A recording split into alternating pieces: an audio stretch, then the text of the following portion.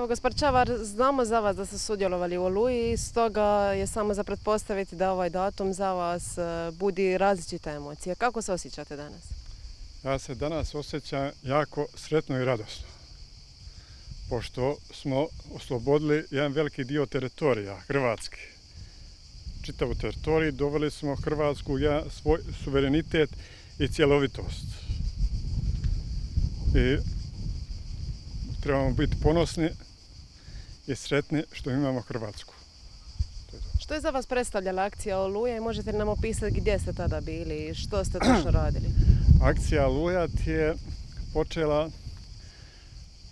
uh, to ti je bila akcije one jedne, kako bi rekao, uh, to je počelo od 11. mjeseca.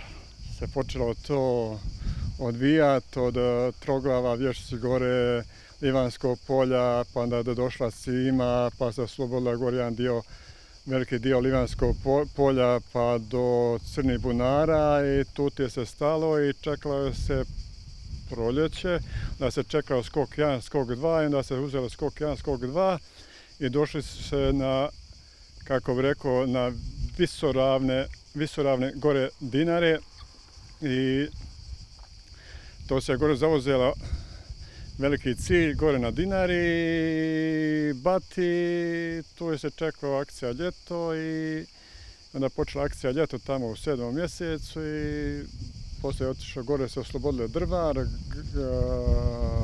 Grahovo, ovaj, Glamoč i onda je te bilo, kako bi rekao, onda su ti bilo slobodan, slobodan dole put za da se učini za Knin i da se ta napravi ta luja, pošto si imao zaleđenu, poleđenu sigurno, znaš.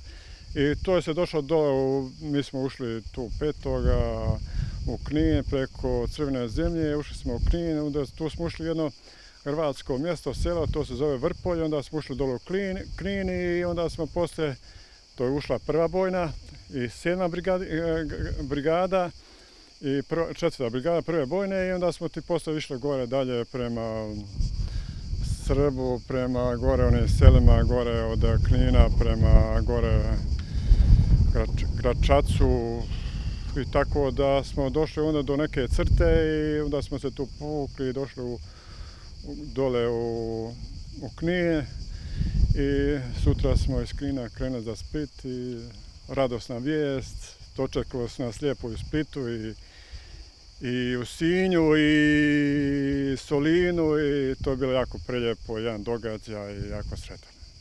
Sigurno vas, kao što sam rekla, vežu različite emocije. Rekli ste i sami da ste danas zadovoljni. Ovo je dan i domovinske zahvalnosti i pobjede i branitelja. Svega, svega, dakle, zahvalni ste na svemu što imamo svega, danas. Svega, smo mi zahvalni i sretni, samo da malo još imaju poštovanja prema nama braniteljima, pogotovo ovdje u Dubrovniku, da ne čekamo neke stvari koje su nam obećali pre 15 godina, nas toliko godina, e, rekao bi, vuku za nos i rugaju se u vezi te zemlje, gore nam cijati, pa ajde više da to se rešimo toga više. Nemojte nas svake godine lijepe priče i pričati obećavanja. Ajmo to rešiti više i da znamo na čemu smo.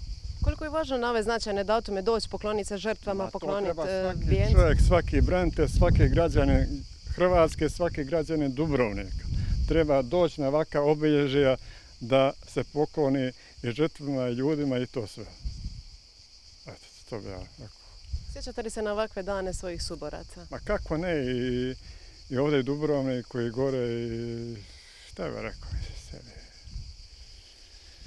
To je bila akcija čista ko suza, oluja je bila fenomenalna akcija sa svim eh, pravilama ratovanja i to nema niko da rekne ovako je. Eto.